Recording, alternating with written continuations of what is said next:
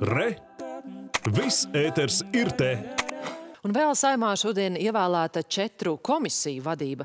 Jāatgādina, ka lielākā daļa saimas komisiju pie priekšsēdētājiem tika jau vakar. Bet eh, šodien deputāti izlēma, ka svarīgo Nacionālās drošības komisiju vadīs bijusi saimas priekšsēdētāja Ināra Mūrniece no Nacionālās apvienības.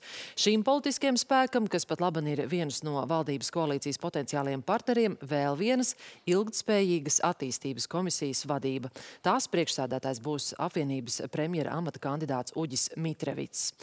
Savukārt opozīcijā esošie progresīvie vadīs Eiropas lietu komisiju, tur ievēlēts Andris Sprūts un nākamās koalīcijas dalībnieka apvienotā saraksta pārstāvis Ingmārs Līdaka vadīs pilsonības, migrācijas un sabiedrības saliedētības komisiju.